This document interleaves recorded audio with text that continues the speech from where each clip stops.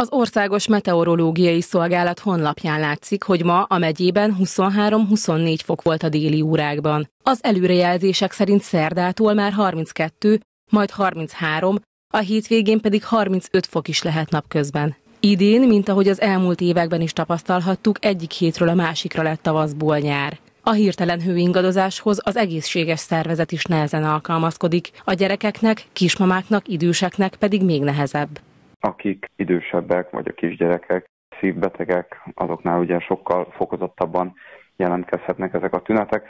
Általában ugye ilyenkor csökkent fizikai terhelhetőség, ingerlékenység, fáradékonyság, vérnyomás, ingadozás léphet fel, tehát többféle formában jelentkezhetnek ezek a problémák. És hát ugye most azzal még pluszba számolni kell, hogy eddig nem igazán voltak nagy melegek, tehát ugye, hogy hirtelen lesz nagy hőmérséklet különbség, ez még inkább megterhelheti a szervezetet, mert ugye kevesebb időnk van a nagy meleghez alkalmazkodni, sokkal gyorsabban kell alkalmazkodni egy nagy hőmérséklet különbséghez.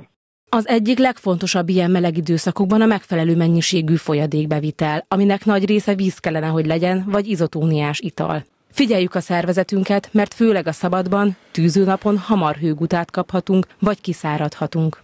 Egy felnőtt embernek legalább a két-két és fél liter folyadékot mindenképpen érdemes meginni. A gyerekeknek meg ugye gyakorlatilag testmérettől, meg a mozgás mennyiségétől függ ez a dolog. Igazándiból a szervezetnek a hidratáltságát úgy lehet a legjobban mérni, hogy figyeljük a vizeletünket, mert hogyha a vizeletünk nagyon-nagyon sűrű, nagyon sárga, koncentrált, akkor az azt jelzi, hogy a szervezetben folyadékhiány van, akkor vagyunk megfelelően folyadékkal feltöltve, hogyha a vizelet színe majdnem teljesen víztiszta, vagy ilyen nagyon halvány sárga.